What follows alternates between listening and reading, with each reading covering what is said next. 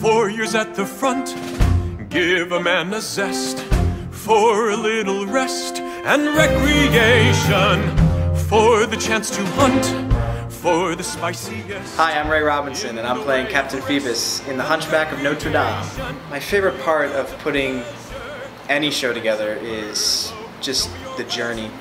Um, going through what the character has to go through or anything in that matter. I mean, I think the biggest moral of the show is in the line, what makes a monster and what makes a man. And just like the, the themes of acceptance and loving someone uh, not because of what they look like, but for who they are. Oh, this is definitely one of the best scores ever written.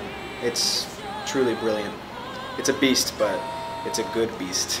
When I need rest and recreation, I'm usually just you know, at home writing songs or playing my guitar or something like that.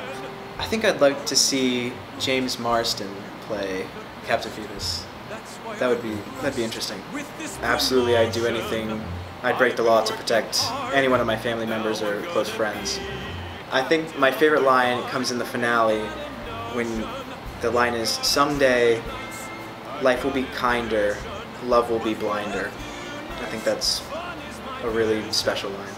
Well, I hope you come see me in Hunchback of Notre Dame. I'll see you there, okay?